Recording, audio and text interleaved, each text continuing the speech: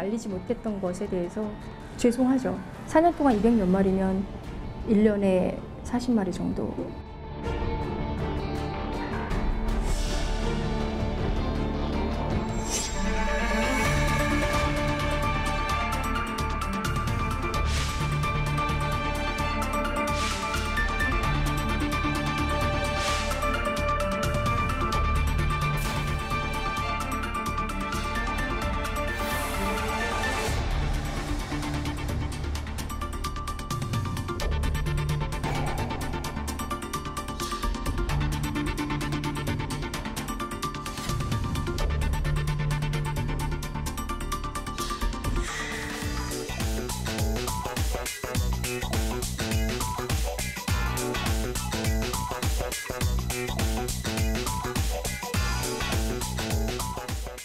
최영일 평론가, 손정혜 변호사 자리했습니다. 어서 오십시오. 안녕하세요. 안녕하세요. 자, 오늘 첫 번째 주제 보겠습니다. 구조한 반려견들을 오히려 무더기로 안락사시켰다는 의혹을 받고 있는 동물보호단체 케어의 박소연 대표 사퇴 거부했고 기자회견 연다고 합니다. 안락사는 불가피했다는 건데 속보 정리해 보겠습니다. 케어라는 단체, 네. 뭐 동물 보호 단체로는 우리나라에서 손꼽는 단체라고요. 네네. 삼대 단체 중에 하나다 이렇게 말씀드릴 수 있습니다. 케어가 있고 네. 카라가 있고 동물 네. 자유 연대라는 단체가 적극적으로 활동을 하고 있죠. 케어도 역사가 오래됐습니다. 박수현 대표가 2002년도부터 시작을 해서 2005년에 한번 좀 성장을 하고요. 반려인구가 워낙 많이 늘면서 유기견 문제에 대한 관심이 사회적으로 커지고 네. 2011년부터는 굉장히 적극적으로 이 개농장 습격 퍼포먼스를 하면서 네. 여러 차례 정말 이렇게 언론에도 많이 알려지고 네. 심지어는 우리가 아는 이 문재인 대통령 취임하시고 유기견 토리를 입양하지 않습니까? 네. 이 검은 강아지 토리를 청와대 first dog로 입양시킨 단체이기도 합니다. 그러니까 케어에서 가져왔군요. 그러니까 맞습니다. 토리를. 네. 네. 그렇군요. 자, 내부 제보자가 폭로했는데 먼저 그 폭로 들어보겠습니다. 계획이 없이 구조하는 거라고 지금 애들 하나 죽으면 하나 나가서 죽어야 돼. 이런 말이 너무 꼬지. 케어 내부 제보자는 안락사를 지시한 박소연 대표의 음성 파일을 한 인터뷰에서 공개했는데요. 그리고 개농장에서 데려온 애들도 사실은 그냥 제 생각에는 데려온 이유가 그냥 안락사 시키자고 데려오는 거라 뭐 막 아프고 이러면 다 저기 데리고 있을 필요 없다고 어, 안락사 시킨 개를 살아있는 것처럼 위장시키려 했다는 주장도 나왔는데 박 대표가 뭐라 말했는지 직접 들어보시죠. 아니 불법이니까 안락사가. 건강한 아이들은 무조건 불법이에요. 그래서 아프거나 폐사했다 자연스했다 이렇게 가야 되는데. 그리고 뭐 일부러 폐사했다고 하는 건 뭐 전혀 문제가 아닐 것 같고. 아 우리가 어디서 또 맞출 만한 게 없을까? 한 곳에서 여러 마리를 한꺼번에 데려오면 의심을 받을 수 있는데 나중에 이제 여기저기서 조금씩 이렇게 모으면 음, 모를 것 같기도 하고. 그다음에 내 생각에 약간 주둥이는 좀 우리가 염색을 좀 검은색으로. 일단 두 마리는 한번 그렇게 해보고 그러니까 앞에는 어, 사실 데려온 이유가 그냥 안락사 시키려고 데려왔다는 말이 충격적이고 물론 뭐 그 문장만 따로 떼서 들어보니까 그렇겠죠. 두 번째 부분은 방송팀에서 속보를 보려고 방송 촬영팀에서 오니까 이미 안락사 시켜버렸고 걔는 없으니까 몇 마리 모아서 좀 두자 이런 거군요. 네, 말하자면 투기견으로서 이제 구조하는 장면이 촬영이 되고 잘 지내고 네. 있는지 방송 촬영팀에서 이제 후속 촬영을 하려 나오니까 추정 60분이었을 네. 네. 사실대로 밝히기가 어려우니까 그것을 위장해서 또 속이기 위해서 사실 방송 음. 촬영이라는 것은 많은 시청자들을 기망한다라고 표현할 수 있을 텐데요. 네. 그런 뭐 여기 염색까지 해서 색을 칠하자까지 이야기할 정도로 적극적인 방법으로 속이려고 했다. 네. 실제로 이렇게 하진 않았다라고 합니다. 다만 이 상황에서도 이렇게 건강한 개들을 이렇게 안락사 시키는 게 불법인 걸 인식하고 있었고 더군다나 방송 촬영팀이 왔는데도 그 촬영팀마저 속이려고 했다라는 부분에 있어서는 뭐 윤리적 도덕적 비난은 충분히 감수해야 되지 않을까 생각이 듭니다. 네. 어, 제보자의 증언에 따르면 이렇게 해서 안락사 시킨 개가 최소 네. 200마리가 넘는다는데, 네. 먼저 어, 박 대표의 어, SNS를 보면서 설명을 들을까요? 네. 주로 보호소 공간이 부족해서 네. 했다면서요? 네. 지금 말씀하신 대로 네. 이러한 그 3년여간 250여 마리, 네. 지난해만 80여 마리라고 지금 알려져 있습니다. 네. 이렇게 많은 수의 개들을 개들이 병들고 아파서 회생할 가능성이 없거나 네. 혹은 굉장히 사나워서 주변에 위해를 주거나 네. 하는 경우면 안락사가 허용될지 모르겠습니다만 덩치가 큰 건강한 개들을 죽였다. 네. 왜? 보호소 공간이 부족하고 네. 또 그러한 개들이 주로 사료를 많이 먹기 때문에 이거는 그러겠죠. 네. 매우 편의적으로 이 정말 건강한 개들을 네. 어, 안락사 시킨 게 되니까 저는 법적인 문제도 분명히 있으리라고 봅니다. 네. 그 일부 방금 메시지를 좀 다시 한번 확인해 볼까요? 잘 안 보이는데. 네. SNS 메시지를 박 대표의 음. 네. 어, 그러니까 이것도 마찬가지로 네. 이제 그러니까 실제가 아니라 진실성이 있는 것이 아니라 어떤 상황이 발생하면 급급해서 변명하고 회피하고 거짓말하고 네. 기망을 하기 위한 아이디어를 내는 겁니다. 네. 이 대부 데모라는 건 이 강아지 개들의 이제 주인이나 이제 관리했던 사람을 이야기하는 것 같은데요. 네.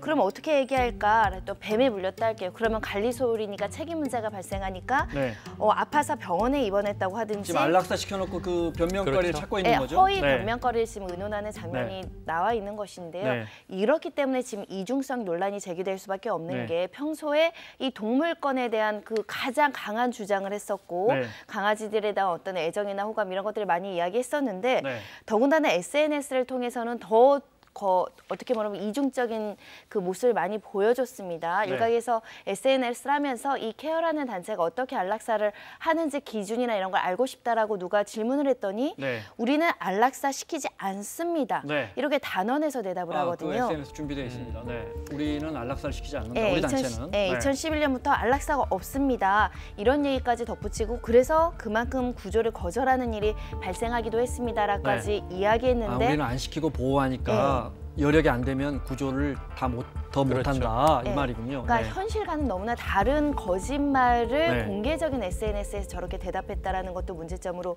지적할 수 있을 것 네. 같고요. 더군다나 우리는 동물은 물건이다라고 주장하지 않습니다. 그런 주장을 여러 차례 했지만 지금 폭로되고 있는 것은 굉장히 사실과 다르다라는 네. 부분입니다. 어, 앞서 잠깐 이야기했지만 KBS 추정 60분 네. 팀의 이 박소연 대표가 2016년입니다. 그때 투견 현장을 제보했는데 그 뒤에 어떻게 됐는지 보시겠습니다.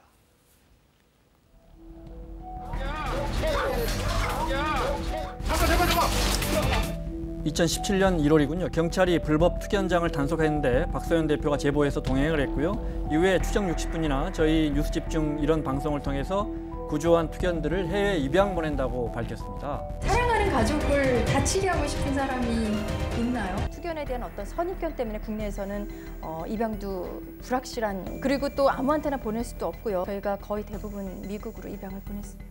네. 어, 저 기, 기억납니다. 방송에서 네, 저렇게 요- 이 자리에? 앉아서 했던 말이에요. 네네. 그러니까 지금 저 퍼포먼스를 많이 했어요. 네. 박소연 대표가 2000년 이 동물권 보호 운동에 적극 운동가로 나서기 전에는 뮤지컬 배우이기도 했고 연극 영화를 가르치던 외래 교수이기도 했습니다. 네. 동물권 운동가로 이제 변신을 한 건데 어찌 보면 지금 하는 이야기가 거짓인 것이 저 방송에 나갔던 그 투견 장면 네. 이 부천 이 습격 사건이 있었고요. 그 전에 또 남양주 이 개농장 습격 사건도 유명합니다. 네. 근데 저때 12마리의 투견을 구조를 해요. 네. 근데 여섯 마리는 미국으로 입양을 보냈다. 투견이 좀 위험하기도 하고 네. 선입견 때문에 국내 국내에서는. 입양이 안 네. 되니까 여섯 마리는 가지고 있다. 네. 여섯 마리의 미국 입양은 거짓으로 밝혀졌고 그럼 안락사 된 것입니다. 그건 죽인 거군요. 네. 그리고 나머지 여섯 마리 중에서 세 마리는 방치를 해서 역시 죽은 것으로 나와 있고 네. 세 마리만 보호되고 있는 것으로 나오고 있어서 네. 구조하는 퍼포먼스를 저렇게 화려하게 하고 언론을 탔는데 결국 이 개들은 보호되지 못했고 네. 입양됐다는 것도 거짓이었다고 확인됐으니까 상당히 이제 그 어떤 신뢰성에 큰 네. 타격을 받을 수밖에 없는 상황이죠. 내용도 내용이지만 이 박 대표가 안락사를 시키면서 이 SNS에 남기는 그. 태도라고 할까요? 네. 그건 많은 동물 애호론자들을 지금 저 분노하게 하는데 네. 이, 영, 이 SNS 하나 볼까요? 네. 얼마나 많은 주사제를 사놓으라 하고 이제 내부 직원과 어, 카톡을 주고받은 내용인데요. 아, 지금 보시면요 더 사도 되겠다. 이게 네. 그러니까 이한 200마리 정도 진도 종류를 보내줄 양인가요? 네. 보낸단 말은 여기서 죽일 안락사 시킬 네. 수 있는 양이냐? 한 200마리 정도의 진돗개를 적- 큰 개를 네.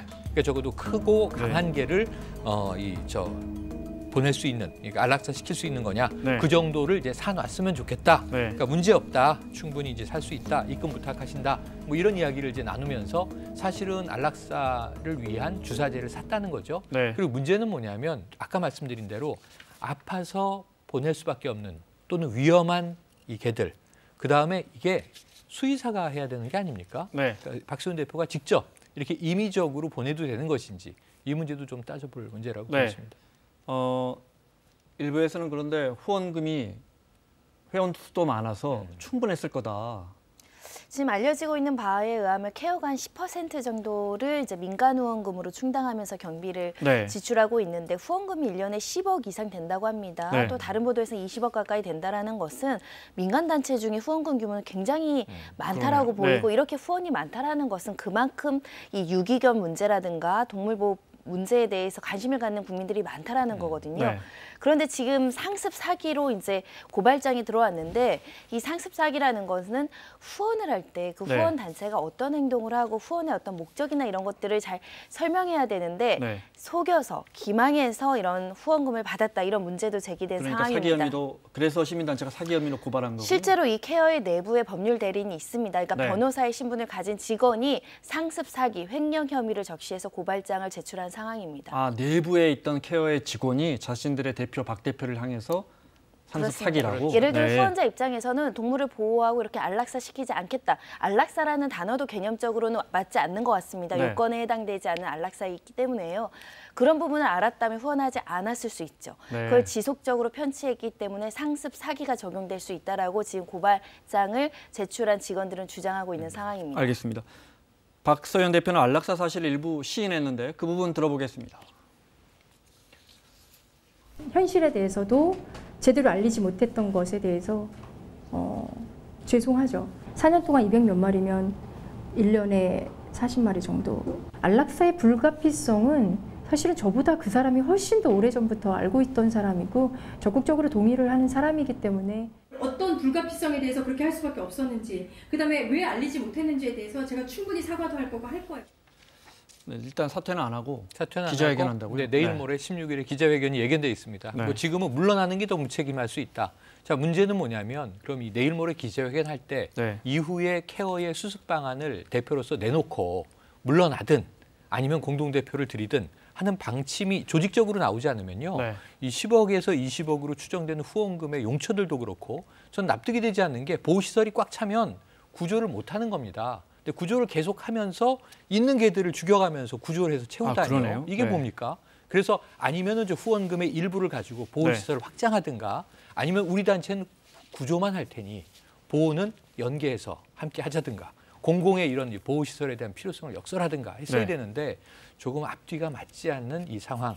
이박 대표가 내일 모레 뭐라고 해명을 할지 그리고 이 조직이 수습되지 않으면 네. 정말 이 직원들은 끊임없이 좀 아, 고통을 겪게 될 것 같습니다. 알겠습니다. 마무리를 해야겠는데 작년에 유기견과 고양이가 10만 2천 마리 정도 되는데 맞습니다. 정부 통계를 보니까 20% 정도가 결국 안락사 안락사가 했습니다. 열흘 지나면 안락사할 수 있으니까요. 맞습니다. 네. 30%가 입양됐고요. 네. 27%가 자연사, 20%가 안락사 당했고 네. 4.5%가 시설에 지금 보호되고 있는데 네. 그 시설 중에 하나가 문제가 되는 케어죠.